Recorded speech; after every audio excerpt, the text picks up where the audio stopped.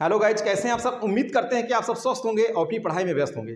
तो गाइज़ आज हम बात करने वाले हैं लाइकेन के बारे में। हमारे इस लेक्चर में लाइकेन से सब कुछ फिनिश हो जाएगा, केवल एक ही लेक्चर में। आप देख लीजिए, एक ही लेक्चर में सब कुछ।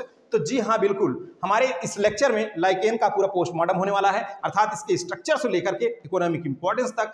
अगर यह हमारा लेक्चर आपने देख लिया तो आपको दूसरी जगहों से पढ़ने की ज़रूरत नहीं होगी गाइज़ इस लेक्चर को देखने के बाद, लिखने के बाद कहीं से भी क्वेश्चन लाइकेन का आ जाए, आप एक बार उसे हल करके देख लेना कि आप पूरा का पूरा क्वेश्चन इस टॉपिक से आपका फंस जाता है कि नहीं फंस जाता है। यह लेक्चर देखने के बाद गाइस तो चलिए शुरू करते हैं आज के अपने इस लेक्चर को गाइस तो देखिए, जैसे हमने virus bacteria fungi mycoplasma finish किया, उसी तरीके से यह भी है गाइस तो चलिए शुरू करते हैं आज के इस लेक्चर को।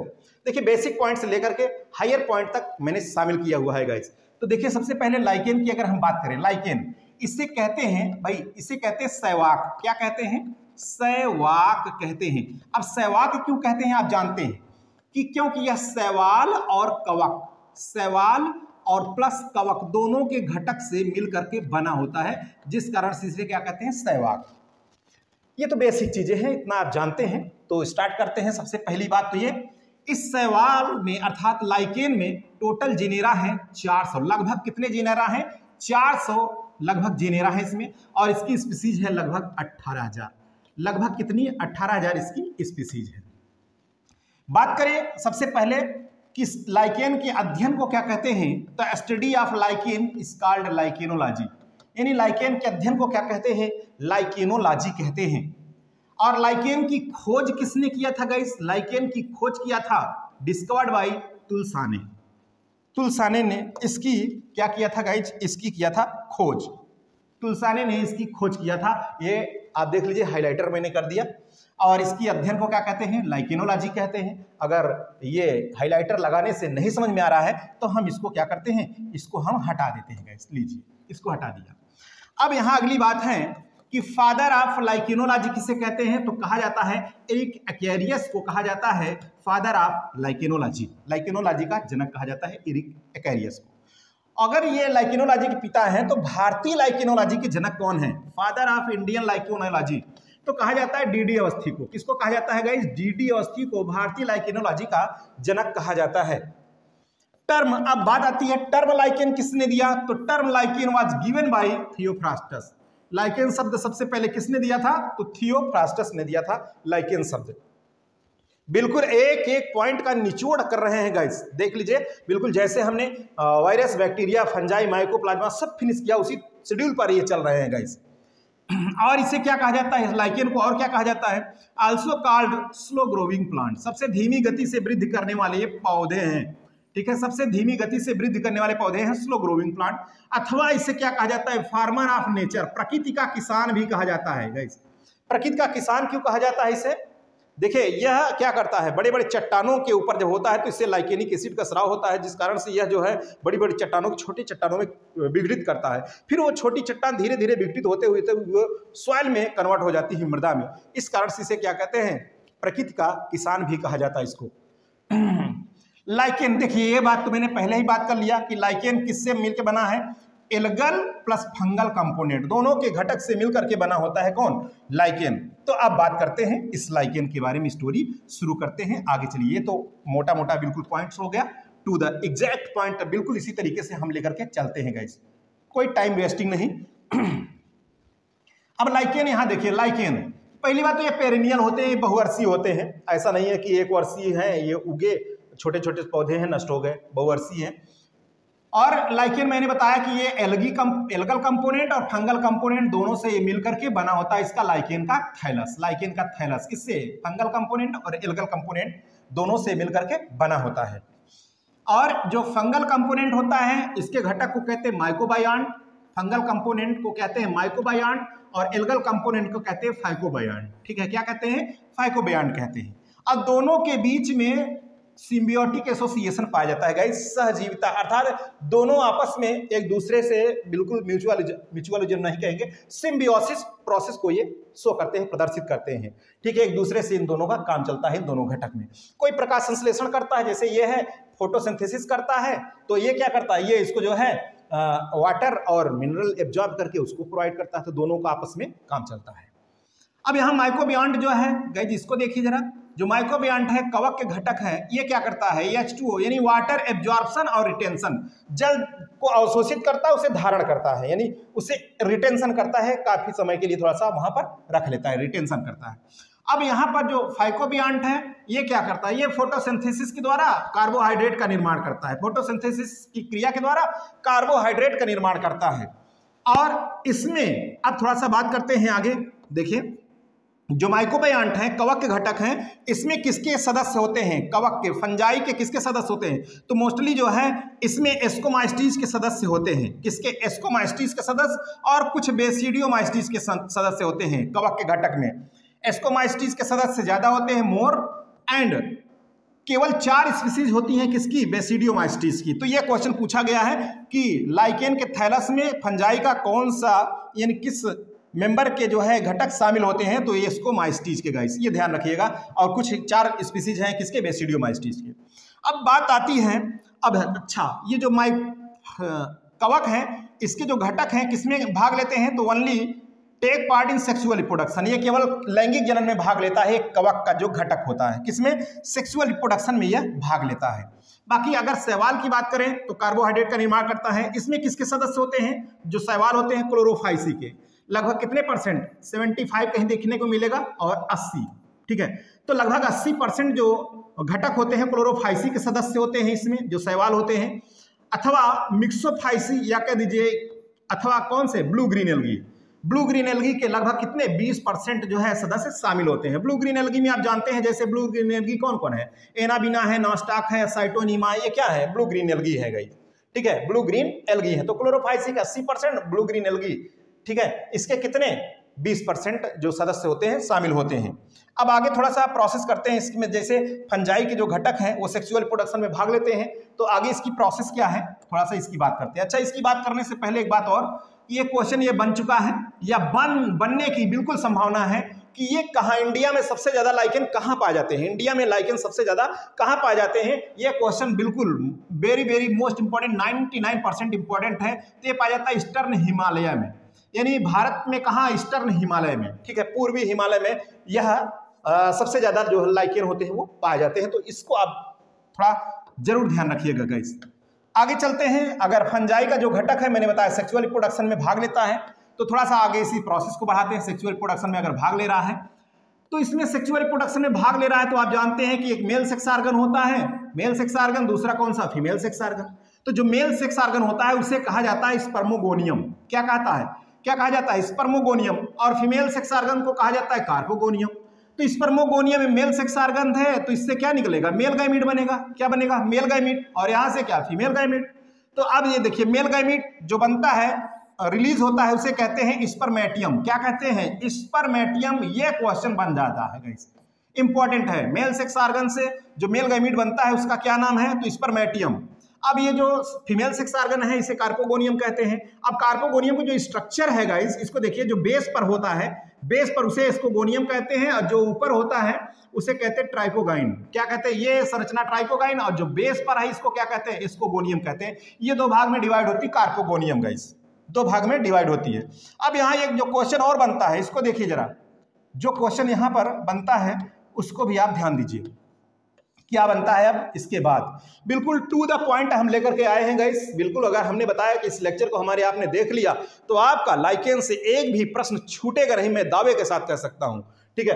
अब यहाँ देखिए, जो फंगल कंपोनेंट होता है फंगल कंपोनेंट वो प्रीडोमिनेंट होता है किस पर? एल्गल कंपोनेंट पर। ठीक है? जैसे कहता है, अरे भाई सवाल तुम ऐसा करो, ये काम कर दो। तुम वो काम कर दो। मतलब एक ऑर्डर जैसा देता है, मालिक की तरह बिहेव करता है और ये बेचारा किसकी तरह? प्रकाश संश्लेषण बन करके इसको भोजन देता है, अर्थात ये दास की तरह होता है। तो इस तरीके से कुछ इसमें ऐसा देखने को मिलता है। इस जो घटना है, इस घटना को कहते हैं हिलोटिज्म। क्या कहते हैं? हिलोटिज्म कहते हैं गाइस इसमें मैंने बताया कि फंगल और एल्गल दोनों कंपोनेंट्स हैं तो फंगल जो कंपोनेंट होता है प्री डोमिनेंट होता है किस पर? एल्गल कंपोनेंट पर। तो इस घटना को कहते हैं हिलोटिज्म। ये हिलोटिज्म में पूछा गया है, कई बार क्वेश्चन बन चुका है, किसमें होता है? लाइकेन में। अच्छा ये हिलोटिज्म को अब यहाँ से समझिए।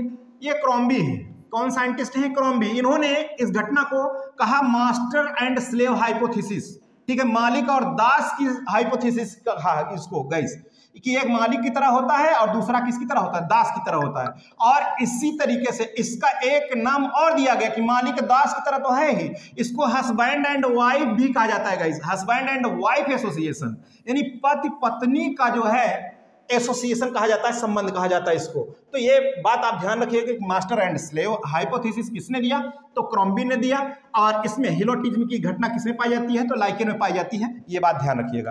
अब यहाँ एक अलग से है गाइस कुछ पॉइंट्स कि जैसे सैक्सिकोलस क्या है अकार्टिकॉलस क्या है टेरिकॉलस क्या है लिग्निकॉलस क्या है तो कुछ लाइकेन जो है, उनकी उपस्थिति के आधार पर ये टर्म दिए गए कुछ लाइकेन लकड़ी पर पाया जाता है, उसे क्या कहेंगे? कुछ छिलकों पर पाया जाता है बार काफ ट्री यानी पेड़ों की छालों पर पाया जाता है तो उसे क्या कहते हैं? कुछ चट्टानों पर पाया जाता है तो उसे क्या कहते हैं? तो ये टर्मिनोलॉजी है। जैसे सैक्सिकोलस किसे कहते हैं? कहा जाता है ग्रो ऑन रॉक्स जब लाइकेन किस पर ग्रो कर जाए? रॉक्स पर, चट्टान पर। तो उसे क्या कहते हैं? सैक्सिकोलस इसका एग्ज़ाम्पल है डर्मेटोकार्पान डर्मेटोकार्पान ये कहाँ ग्रो करता है? ये चट्टान पर रॉक्स पर। Guys corticolous bare of tree यानी ट्री की कहाँ? छालों पर, यानी पेड़ों की छालों पर। वहाँ पर जैसे इसका एग्ज़ाम्पल परमेलिया और यूसनिया। टेरिकॉलस किसे कहते हैं? जब ग्रो ऑन अर्थ क्रस्ट अथवा सॉयल जब लाइकेन कहाँ? या तो कह दीजिए मृदा में, या कह दीजिए अर्थ क्रस्ट पर उग जाए, तब उसे कहते हैं टेरिकॉलस इसका एग्ज़ाम्पल है क्लाइडोनिया क्या है इसका एग्ज़ाम्पल क्लाइडोनिया गाइस लिग्निकोलस किसे कहते हैं? अनउड जब कहाँ ये उग जाता है? लकड़ी पर उग जाता है, तब उसे कहते हैं लिग्निकोलस इसका एग्ज़ाम्पल है साइफेलियम क्या है? साइफेलियम इसका एग्ज़ाम्पल है। तो ये बहुत ही इंपॉर्टेंट पॉइंट्स हैं गाइस आगे चलते हैं। आगे इसकी खास बात क्या है, उसको भी देख लेते हैं। देखिए, अगली खास बात यहाँ पर गाइस अगर इसके थैलस से हम बात करें तो इसके थैलस को किसी ने जो है साइंटिस्ट ने एक संबंध और कह दिया, इसी में जो एल्गल और फंगल कंपोनेंट के कारण ये बना होता है दोनों से, दोनों के संबंध से बना होता है तो इसे टर्म दे दिया कंसोर्टियम अगर आ जाए परीक्षा में कंसोर्टियम का रिलेशन किससे है तो लाइकेन के थैलस से है, इतना आप ध्यान रखिएगा। बाकी इसका जो थैलस होता है मोस्टली ग्रे कलर में होता है। कैसा होता है मोस्टली ग्रे कलर में होता है। और इसका जो थैलस है, तीन प्रकार का होता है। तीन प्रकार का थैलस एक तो क्रस्टोज, दूसरा फोलियोज, तीसरा फ्रक्टिकोज। फ्रूटिकोज, ठीक है? क्रस्टोज, फोलियोज, फ्रूटिकोज, ये तीन प्रकार का इसका थैलस होता है। बाकी इसकी जो फ्रूटिंग बॉडी की बात करें अगर हम, इसको कार्प, कार्ड क्या कहलाती है इसकी? Fruiting body. फ्रूटिंग बॉडी इसमें दो प्रकार की होती है, एक एपोथीसियम, दूसरा पेरीथीसियम। ये एक प्रश्न बन चुका है। इसे आप ध्यान रखिएगा कि लाइकेन की जो फ्रूटिंग बॉडी होती है, एपोथीसियम होती है। एपोथीसियम का मतलब किसकी तरह? प्लेट लाइक है। पेरीथीसियम मतलब किसकी तरह? फ्लास्क लाइक है। अभी इसकी चर्चा हम आगे करेंगे गाइज़ आगे भी कर रहे हैं। पहले थोड़ी सी इसकी चर्चा हम लाइकेन की। देखिए, सामान्य जो बातें थी फिनिश कर लिया आप क्लासिफिकेशन की बात करेंगे। लाइकेन के वर्गीकरण की अब हम बात करने वाले हैं गाइस तो देख लीजिए लाइकेन का जो वर्गीकरण है। क्लासिफिकेशन इसका जहल ब्रुकनर जहल ब्रुकनर ने 1907 में सबसे पहले इसका जब क्लासिफिकेशन किया तो किसका आधार लिया? फंगल कंपोनेंट के आधार पर। पहले लाइकेन का वर्गीकरण फंगल कंपोनेंट के आधार पर किया। तो इसे दो भागों में बांटा है। कहा एक एस्कोलाइकेन होते हैं दूसरा बेसिडियो लाइकेन होते हैं? एस्कोलाइकेन और बेसिडियो लाइकेन होते हैं। फंगल कंपोनेंट के आधार पर जहल बुकर ने इसका वर्गीकरण किया। तो एस्कोलाइकेन का मतलब इसमें जब कवक के एस्कोमाइस्टीज के सदस्य होते हैं, तब उसे क्या कहते हैं? एस्कोलाइकेन कहते हैं। जब बेसिडियो माइस्टीज के सदस्य होते हैं, तब उसे बेसिडियो लाइकेन कहते हैं। अब इसका एग्ज़ाम्पल क्या है? जैसे कोरेला है और डिक्टियोनीमा है। इसमें और भी है, जैसे एस्कोमाइस्टिस के सदस्य है तो एस्कोलाइकेन बेसिडियोमाइस्टिस के बेसिडियोलाइकेन और ड्यूटीरोमाइस्टिस के सदस्य तो ड्यूटीरोलाइकेन हो गया। इस तरीके से फ़िलहाल इस, ये इंपॉर्टेंट ज़्यादा है एस्कोलाइकेन एस्कोलाइकेन की फ्रूटिंग बॉडी के आधार पर पुनः इसको दो भागों में बांट दिया गया। इसमें फ्रूटिंग बॉडी के आधार पर, देख लीजिए बेस अब किसका? फ्रूटिंग बॉडी के आधार पर इसे पुनः दो भागों में बांट दिया।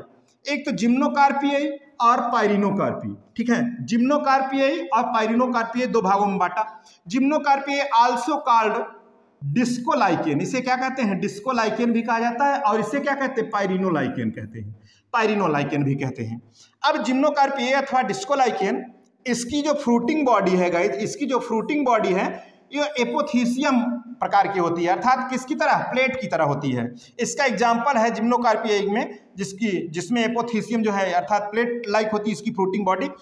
एग्ज़ाम्पल इसका क्या है? परमेलिया। कौन सी है? परमेलिया इसका एग्ज़ाम्पल है।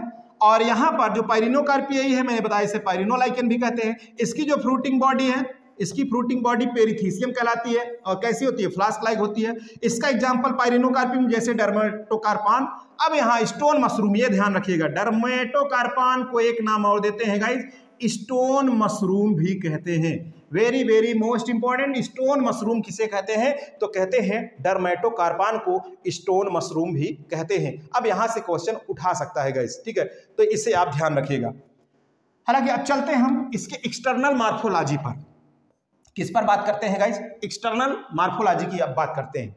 इसके बाह्य संरचना की बात करते हैं कि लाइकन देखने में कैसा लगता है। देखिए एक्सटर्नल मार्फोलॉजी की बात करें, इसकी जो संरचना होती है, अर्थात ये थैलॉयड होती है। थैलॉयड का मतलब एक थैलस किसे कहते हैं? जब जड़ तना पत्ती में विभेदित न हो प्लांट तब उसे क्या कहते हैं हम? थैलस कहते हैं। तो इसकी जो बॉडी होती है, वो थैलॉयड कहलाती है, अर्थात इसमें भी रूट स्टेम लीफ में आप इसको विभाजित नहीं कर सकते। ठीक है? तो अब देख लीजिए इसमें जो है, इसके स्ट्रक्चर को तीन ग्रुप में बांट दिया, तीन समूहों में बांट दिया। अब तीन समूह कौन है? फ्रक्टोज लाइकेन है फोलियोज लाइकेन है और फ्रूटिकोज लाइकेन है। अभी मैंने बताया था, अभी इसका ज़िक्र मैंने बोला था ना, करेंगे तो यही है। बहुत ही इंपॉर्टेंट है ये गाइस ठीक है? बहुत ही इंपॉर्टेंट है। क्रस्टोज फोलियोज फ्रूटिकोज तो जो क्रस्टोज लाइकेन है, क्रस्ट मतलब आप जानते हैं कि चट्टान, वहाँ से बिल्कुल ये ऐसे उग जाते हैं उसमें कि इसको आप अलग नहीं कर सकते, अगर अलग करेंगे सेपरेट नहीं कर सकते, ये नुच उच जाएगा, समझ रहे हैं? थाइलस किसका फ्लैट होता है? चपटा होता है एंड कठोर रिजिड होता है, कठोर होता है। चपटा और कठोर होता है थिक लेयर बनाती है कैन नॉट सेपरेट और इसे पृथक नहीं किया जा सकता। चट्टानों पर अगर ये उगे हैं तो गाइस फ्लैट होती है रिजिड होती है, इसे सेपरेट अलग नहीं किया जा सकता इसके आधार से। इसमें विशेष संरचनाएँ होती हैं एरियोली ये ध्यान रखिएगा एरियोली ठीक है? एरियोली very very most important crustose lichen का एग्ज़ाम्पल देख लीजिए। ग्राफिक्स हो गया, लिकेनोरा हो गया, राइजोकार्पान। ग्राफिक्स, लिकेनोरा और राइजोकार्पान, ये किसके? क्रस्टोज लाइकेन के एग्ज़ाम्पल हैं। ये एग्ज़ाम्पल ही पूछा जाता है यही एग्ज़ाम्पल ही बहुत बार पूछा गया है कि जैसे ग्राफिक्स लिकेनोरा और यहाँ पर राइजो कार्पान मैंने बताया किसके एग्ज़ाम्पल हैं? तो ये एग्ज़ाम्पल है क्रस्टोज लाइकेन के। फोलियोज लाइकेन फोलियोज मतलब पत्ती आप जानते हैं। तो ये किसकी तरह होते हैं? Foliose lichen like dried leaf यानी सूखी पत्ती की तरह होते हैं। और इसकी निचली सतह से राइजीन संरचना निकलती है। क्या निकलती है? राइजीन ये इंपॉर्टेंट है कि राइजीन अगर पूछ लेगा किसमें पाई जाती है तो फोलियोज लाइकेन में पाई जाती है राइजीन स्ट्रक्चर और foliose lichen like dried leaf यानी सूखी पत्ती की तरह होते हैं। इसे अगर अलग करेंगे तो पूरा अलग हो जाती है गाइस ठीक है? इसका एग्ज़ाम्पल परमेलिया है, फाइसिया है, पेल्टीगेरा है और सिट्रेरिया है और जंथोरिया ठीक है, सिट्रेरिया और जंथोरिया। ये इसका एग्ज़ाम्पल हो गया फोलियोज लाइकेन के। फ्रूटिकोज लाइकेन ये सरब लाइक होते हैं, झाड़ी नुमा होते हैं। जैसे पेड़ों पर आप देखते हैं, दूसरे उग जाते हैं, लटकते हुए पाए जाते हैं झाड़ी नुमा ये लटकते हुए पाए जाते हैं तो ये हो गया सरब लाइक झाड़ी नुमा इसका एग्ज़ाम्पल है गाइज़ जैसे क्लाइडोनिया यूसनिया और एलेक्टोरिया रामालिना, ये सभी। गैस क्लाइडोनिया यूसनिया इलेक्टोरिया और रामालिना इसके एग्ज़ाम्पल हो गए। जैसे आप जानते हैं ओल्ड मैंस बियर्ड किसे कहते हैं भाई? यूसनिया को कहते हैं। क्लाइडोनिया रेंगी फेरिना ठीक है? उसका और उपनाम क्या है? अभी उनकी मैं ज़िक्र कर रहा हूँ आगे। ये तो एक्सटर्नल मार्फोलॉजी हो गई क्रस्टोज फोलियोज फ्रक्टिकोज इसके एग्ज़ाम्पल हो गए। इसकी क्या विशेषता है? मैंने बात किया। अब इंटरनल स्ट्रक्चर की हम बात करते हैं गाइस इसके इंटरनल स्ट्रक्चर की बात करते हैं तो देख लिया जाए इसका इंटरनल स्ट्रक्चर देखिए यहाँ पर, अगर हम इसके इंटरनल स्ट्रक्चर की बात करें इंटरनल स्ट्रक्चर की तो गाइस देखिए जरा इंटरनल स्ट्रक्चर इसका, यहाँ पर इंटरनल स्ट्रक्चर इसका कॉम्प्लेक्स होता है, जटिल होता है, और मुख्य रूप से जो इंटरनल स्ट्रक्चर हम बात करने चल रहे हैं, वो फोलियोज लाइकिन की बात करने चल रहे हैं फोलियोज लाइकिन की। इसके जो कॉम्प्लेक्स होता है, अगर इंटरनल स्ट्रक्चर देखेंगे तो इसमें चार भाग दिखाई देते हैं, चार भाग। एक तो अपर कार्टेक्स दूसरा लोअर कार्टेक्स अपर कार्टेक्स और लोअर कार्टेक्स बीच में, वो अपर कार्टेक्स के ठीक नीचे एल्गल लेयर होती है फिर एल्गल लेयर के नीचे मेड्यूला होता है। तो ये भी पूछा है गाइस कि इंटरनल स्ट्रक्चर देखने पर उसमें कौन कौन सी लेयर देखने को मिलती है? तो ध्यान रखिएगा अपर कार्टेक्स और लोअर कार्टेक्स और मेड्यूला और एल्गल लेयर ये चीज़ें हैं इसमें। Upper cortex algal layer medulla और लोअर कार्टेक्स ये ध्यान रखिएगा। Upper cortex form by fungal filament ये किसका बना होता है? फंगल फिलामेंट का बना होता है। एल्गल लेयर इसे गोनीडियल लेयर भी कहते हैं और एलगल रिप्रोडक्टिव लेयर भी कहते हैं इसे। क्या कहते हैं? एलगल रिप्रोडक्टिव लेयर इसमें एलगी वाले भाग होते हैं गाइस और इसी के आधार पर फिर इसका डिवाइडेशन फिर से किया गया है। इसका डिवाइडेशन कैसे? होम्यो आइसोमेरस और हेट्रोमेरस होम्यो मिरस और हेट्रोमेरस ये दो भाग हैं। होम्यो आइसोमेरस का मतलब जब एलगी प्लस फंजाई दोनों के कंपोनेंट बराबर होते हैं गाइस बराबर होते हैं, तब उसे कहते हैं होम्यो आइसोमेरस इसका एग्जांपल है कोलेमा और लिप्टोगोनियम। लिप्टोजियम। नॉट लिप्टोगोनियम लिप्टोजियम और कोलेमा। और हेट्रोमेरस में आप जानते हैं विषम हो गया, इसमें उलझे रहते एक दूसरे में, कहीं ज़्यादा तो कहीं कम। ये मोस्ट कॉमन प्रकार का है गैस मोस्ट कॉमन प्रकार का है। इसका एग्जांपल जैसे परमेलिया है और जेंथोरिया है। परमेलिया और जेंथोरिया।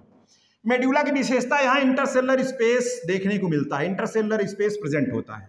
लोअर कार्टेक्स की बात है मेड बाई फंगल कंपोनेंट देखिए यह भी फंगल कंपोनेंट का, यह भी फंगल कंपोनेंट इसके नीचे से राइजीन एराइज होती है राइजीन निकली होती है। मैंने बताया ना, वो फोर लाइकन में क्या निकलती है? राइजीन निकली होती है राइजीन तो ये ध्यान रखिएगा गाइज़ तो ले लीजिए स्क्रीन इसका, और फिर आगे बढ़ते हैं। उम्मीद करते हैं कि आपकी समझ में आ गया होगा गाइस थोड़ा सा मॉडर्न न्यूट्रिशन की बात करें, देखिए अभी तक क्वेश्चन बना नहीं है तो हो सकता है न्यूट्रिशन से बात कर ले। मॉड ऑफ़ न्यूट्रिशन इसका बायोट्रॉफिक प्रकार का होता है। कैसा होता है? बायोट्रॉफिक प्रकार का होता है, इसे आप ध्यान रखिएगा। Biotrophic very very most important इसमें एक संरचना होती है, विशेष संरचना है तो इसमें चार पाँच होती हैं, लेकिन अभी मैं आगे बात कर रहा हूँ, लेकिन यहाँ पर एक साइफेली संरचना है, साइफेली। ये साइफेली कई बार पूछा गया है। Cyphellae are analogous to stomata किसके? एनालॉगस होती है स्टोमेटा के एनालॉगस होती है साइफेली। अर्थात ये take part in respiratory respiration अर्थात किसमें भाग लेगा? रेस्पायरेशन में भाग लेगा। इसी कारण तो इसे क्या कहते हैं? एनालॉगस टू स्टोमेटा कहते हैं। आप higher plant on lower cortex हाँ ये कहाँ होता है? लोअर कार्टेक्स में होता है गाइस ये साइफेली कहाँ होता है? लोअर कार्टेक्स में होता है। ये आप ध्यान रखिएगा। हो सकता है कि यहाँ से पूछ ले। अब रिप्रोडक्शन की बात करते हैं इसकी। किसकी बात करते हैं गाइस रिप्रोडक्शन की बात करते हैं।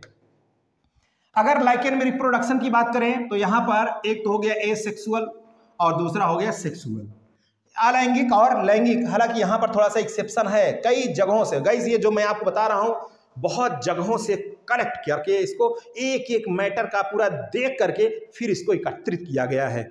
आप सबके लिए तो देख लीजिए, जहाँ एक्सेप्शन है, मैं उसे बताया भी दे रहा हूँ। ऐसा एक्सेप्शन आपको दिख जाएगा। तो ए सेक्सुअल किसके द्वारा होता है? ये क्वेश्चन सीधे सीधे बना है।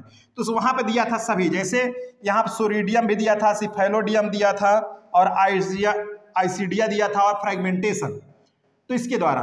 बाकी ओइडिया भी होते हैं कोनिडिया भी पिकनीडियो स्पोर अर्थात जिसमें पिकनीडिया होंगे यह भी संरचनाएँ होती हैं इसके थ्रू आगे देखिए सेक्सुअल रिप्रोडक्शन की भी मैं बात कर रहा हूँ, पहले ए सेक्सुअल की तो बात कर लें।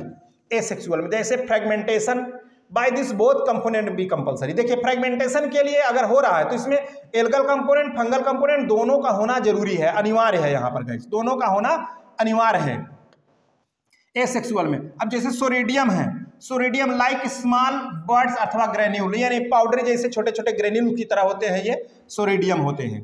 और सिफेलोडियम देख लीजिए सिफेलोडियम वार्ड लाइक स्ट्रक्चर, जैसे मस्सा नहीं होते, निकल जाते हैं, ऐसे ये ये मस्सा की तरह निकल जाती है संरचनाएँ, इसे कहते हैं सिफेलोडियम और ये किसमें मदद करता है? हेल्प इन रिटेनिंग मॉइस्चर, यानी आर्द्रता को क्या करता है? धारण करना, इसका जो है आर्द्रता को धारण करने में मदद करता है सिफेलोडियम ये हो सकता है कि इसका फ़ंक्शन पूछ लिया जाएगा इस आईसीडियम की अगर बात करें आईसीडियम संरचना, देखिए, सोरिडियम सिफेलोडियम और आईसीडियम आईसीडियम लाइक है सोरिडिया। किसकी तरह होता है? सोरिडिया की तरह होता है। पार्टिसिपेट इन वेजिटेटिव प्रोपोगेशन किसमें भाग लेता है ये? वेजिटेटिव प्रोपोगेशन में यह भाग लेता है। ये आप ध्यान रखिएगा गैस अब यहाँ मैं अगर सेक्सुअल रिप्रोडक्शन की बात करूँ तो कंप्लीटेड बाय फंगल कंपोनेंट मैंने बताया फंगल कंपोनेंट के द्वारा सेक्सुअल रिप्रोडक्शन की प्रक्रिया होती है और उसमें मोस्टली एस्कोमाइस्टिस के सदस्य होते हैं। किसके? एस्कोमाइस्टिस के सदस्य होते हैं। अब इसमें एक मेल होगा सेक्स आर्गन और एक फीमेल तो male sex organ flask like होता है फ्लास्क सेप होता है जिसे स्पर्मोगोनिया कहते हैं और फीमेल जो है कार्पोगोनिया कहलाती है। यानी स्पर्म स्पर्मोगोनियम और कार्पोगोनियम अभी मैंने बात किया। अब स्पर्मोगोनियम से स्पर्मेटिड्स निकलता है, जो मेल गैमिट होता है। कार्पोगोनियम से। अब इसमें होता क्या है कि भी एक संरचना होती है एसआई। क्या होती है? एसआई एसआई में आठ इसको स्पोर बनते हैं। यह क्वेश्चन बन चुका है गाइज़ ये क्वेश्चन बन चुका है तो इसे आप नोट कर लीजिएगा। Very very most important asci में कितने इसको स्पोर? आठ इसको स्पोर।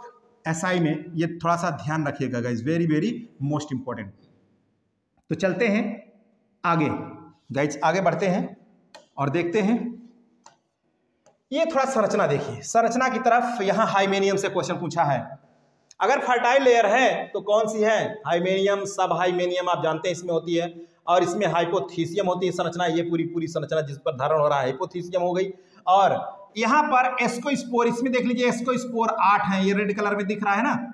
ये रेड कलर में एस आई और ये पूरा का पूरा जो है एस्कस है। एस आई है। और इसी में पैराफाइसिस है। पैराफाइसिस के द्वारा ये पूरा घिरा होता है गैस ये पूरा घिरा होता है। एस आई जो है पैराफाइसिस के द्वारा क्या होता है? ये घिरा होता है। बाकी एस्को कार्प कहते हैं। ये पूरा, पूरी जो संरचना है एस्को कार्प कहलाती है इसमें। और ये संरचना मैंने बताया ही दिया हाइपोथीसियम यह क्वेश्चन जो पूछा था, वो एसआई में कितने आठ इसको स्पोर होते हैं और इसकी जो फर्टाइल स्ट्रक्चर होती है, वो क्या होती है? तो हाइमेनियम होती है। क्या होती है? हाइमेनियम गाइस ये ध्यान रखिएगा गाय यहाँ पर। देख लीजिए asci surrounds by paraphysis asci किसके द्वारा? घिरी होती है, पैराफाइसिस के द्वारा घिरी होती है, पैराफाइसिस के द्वारा। यूसनिया की मैंने बात किया था कि यूसनिया फॉरेस्ट फायर कहा जाता है इसको। देखिए, जंगल में आग इन्हीं लाइकिनों के कारण ही लगती है, इन्हीं लाइकिनों के कारण लगती है। इस यूसनिया को ओल्ड मैन बियर्ड कहते हैं, वृद्ध की दाढ़ी कहते हैं इसको। क्या कहते हैं? वृद्ध की दाढ़ी क्योंकि ऐसे ही लटकती हुई पाई जाती है गाइस लटकती हुई बिल्कुल इसी तरीके से पाई जाती है। इसी कारण से ओल्ड मैन बियर्ड कहते हैं। अब इकोनॉमिक इंपॉर्टेंस की बात करते हैं। किसकी बात करते हैं guys economic important of lichen, चलिए फटाफट के अंदाज में, इसका आर्थिक महत्व भी देख लिया जाए। इकोनॉमिक इंपॉर्टेंट देखिए एज अ फ़ूड पहला पॉइंट इसका फ़ूड एंड फूडर यानी भोजन और चारा के रूप में, भोजन और चारा के रूप में।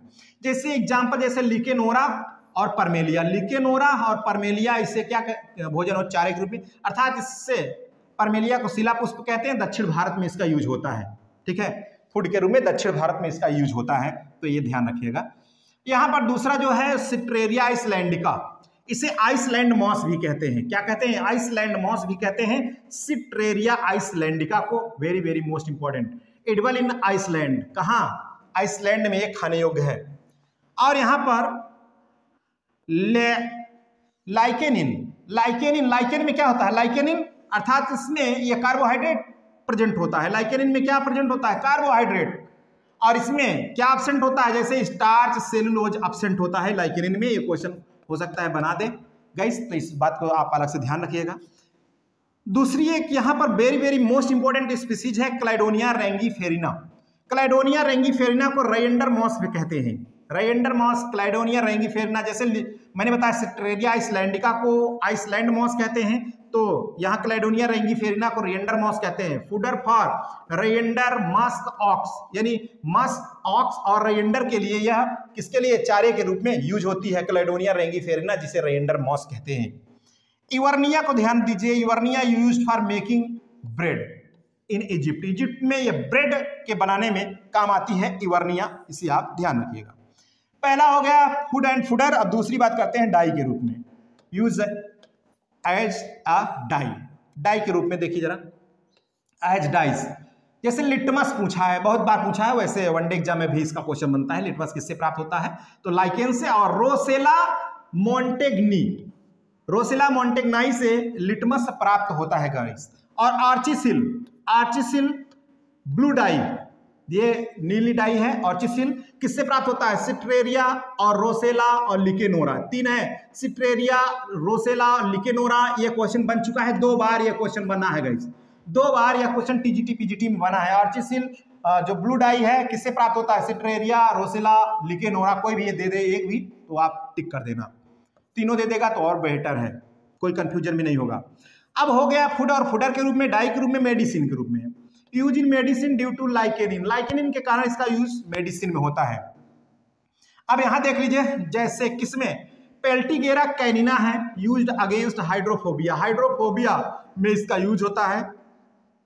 हाइड्रोफोबिया के अगेंस्ट पेल्टीगेरा कैनिना का यूज़ होता है। इस पेल्टीगेरा कैनिना को कहते हैं डॉग लाइकेन यह भी क्वेश्चन बना है गाइस ठीक है? डॉग लाइकेन किसे कहते हैं? पेल्टीगेरा कैनिना को डॉग लाइकेन कहते हैं। ये जितने मैं नाम बता रहा हूँ इसको एक जगह आप कलेक्ट करें लिख लेना। जेंथोरिया जेंथोरिया इसका यूज़ होता है किसमें? जॉन्डिस में। लेबोरिया पल्मोनेरिया किस लंग इन्फेक्शन में इसका यूज़ होता है। और सिट्रेरिया किसमें लेग्जेटिव के रूप में होता है, अर्थात कब्जहर के रूप में होता है ना, जैसे कहें कब्ज बन गया तो सिट्रेरिया का यूज़ होता है वहाँ पर गैस ठीक है? कब्जहर के रूप में। तो पेल्टेरीगेर, पेल्टीगेरा कैरिना, जेंथोरिया और लेबोरिया, पल्मोनेरिया और ट्रेरिया तो इनको आप ध्यान रखिएगा किसमें मेडिसिन में है ये। ठीक है, मेडिसिन में। अब थोड़ा सा सॉइल फॉर्मेशन में इसका यूज़ देखिए। Help in soil formation. मैंने बताया वेदरिंग की क्रिया होती है, पीडोजेनेसिस की क्रिया होती है, जिसके कारण जो है सॉइल बन जाती है बड़े बड़े चट्टान जो है मृदा के रूप में कन्वर्ट हो जाते हैं। अब यहाँ अगला जो यूज़ है इसका, देख लीजिए, अगला किसमें यूज़ है इसका? उसको उसको भी देख लेते हैं। एज कॉस्मेटिक और परफ्यूम में। कॉस्मेटिक एंड परफ्यूम ठीक है? सौंदर्य प्रसाधन और सुगंधित इत्र perfumes Evernia and Ramalina Evernia और रामालिना का यूज़ इस परफ्यूम परफ्यूम बनाने में होता है और इसके अलावा सॉप साबुन बनाने में, धूप, बत्ती, अगरबत्ती बनाने में और हवन सामग्री में इसका यूज़ होता है गैस इवर्निया रामालिना ठीक है? सॉप धूप, अगरबत्ती और हवन सामग्री में इसका यूज़ होता है इवर्निया रामालिना अगला इकोलॉजिकल इंपॉर्टेंस इसका क्या है? इकोलॉजिकल क्रस्टोज लाइकेन को पायोनियर इन ज़ीरो सीयर कहा जाता है। पायोनियर इन ज़ीरो सीयर कहा जाता है, क्योंकि बिल्कुल क्रस्टोज लाइकेन ही इकोलॉजिकल इंपॉर्टेंस में बहुत ज़्यादा भूमिका निभाता है। अगला देखिए, क्रस्टोज लाइकेन, अब यहाँ कैसे भूमिका निभाता है? पायोनियर मैंने बताया क्या है। पायोनियर आप पायोनियर इन ज़ीरो सीयर तो पहले क्रस्टोज लाइकेन होता है तो फिर फोलियोज लाइकेन। फिर फोलियोज लाइकेन से मॉस स्टेज में आ जाता है। मॉस स्टेज से थोड़ा डेवलप होता है हार्ब स्टेज में आ जाता है छोटी छोटी झाड़ियाँ। फिर उसके बाद सर्व स्टेज में आ जाता है, झाड़ी बना लेता है। धीरे धीरे बड़ा हो रहा है, फिर उसके बाद ट्री बन जाता है, पेड़ वहाँ पर उगने शुरू हो जाते हैं, अर्थात क्लाइमेट पूरा चेंज हो जाता है। तो क्रस्टोज लाइकेन ही शुरुआत करता है, ये पाइनियर होता है पाइनियर इन ज़ीरो सीयर क्रस्टो से फोलियोज फोलियोज से मास स्टेज इस तरीके से चेंज होता है। अगला इसका इंपॉर्टेंस क्या है? उसकी भी बात करते हैं गाइस अगला इंपॉर्टेंस देख लीजिए। जैसे पॉल्यूशन इंडिकेटर में सबसे ज़्यादा पूछा गया है सबसे ज़्यादा अभी तक क्वेश्चन बनने वाला है पॉल्यूशन इंडिकेटर के रूप में। इंडिकेटर ऑफ़ ये टू पॉल्यूशन अर्थात इसका जो है ये सल्फ़र डाइऑक्साइड प्रदूषण के सूचक कहलाते हैं। यानी जो लाइकेन है, वो सल्फ़र डाइऑक्साइड के क्या कहलाते हैं? सूचक कहलाते हैं। और इसे एयर पॉल्यूशन कह दीजिए। Air pollution air pollution indicator of air pollution, जहाँ वायु प्रदूषित होती है, अगर वहाँ लाइकेन है, वहाँ की वायु प्रदूषित हो गई तो लाइकेन मुरझा जाते हैं। जिस कारण से पता चल जाता है, अगर लाइकेन मुरझा जा रहा है तो पता चल जाएगा कि यहाँ की जो एयर है, वो क्या हो चुकी है, पॉल्यूटेड हो चुकी है। ये और वहाँ पर मुख्य रूप से सल्फ़र डाइऑक्साइड का प्रदूषण है गाइस तो ये वेरी वेरी मोस्ट इंपॉर्टेंट बहुत ज़्यादा बार ये पूछा गया है गाइस ठीक है?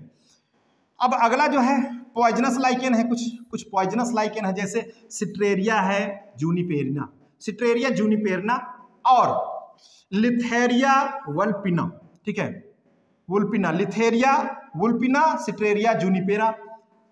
इसे देखिए, लिथेरिया वल्पिना को वोल्फ मास कहते हैं गाइस वुल्फ मास कहते हैं, इसे ध्यान रखिएगा, लिथेरिया वुल्पिना को वुल्फ मास कहते हैं। मैंने चार पाँच नाम बता दिया, कामन, उसको आप ध्यान रखिएगा गाइस यूज़ इन पॉइजन विष के रूप में, ठीक है? विषैला होता है। इन ब्रीविंग इंडस्ट्री जैसे सिट्रेरिया और लिकेनोरा।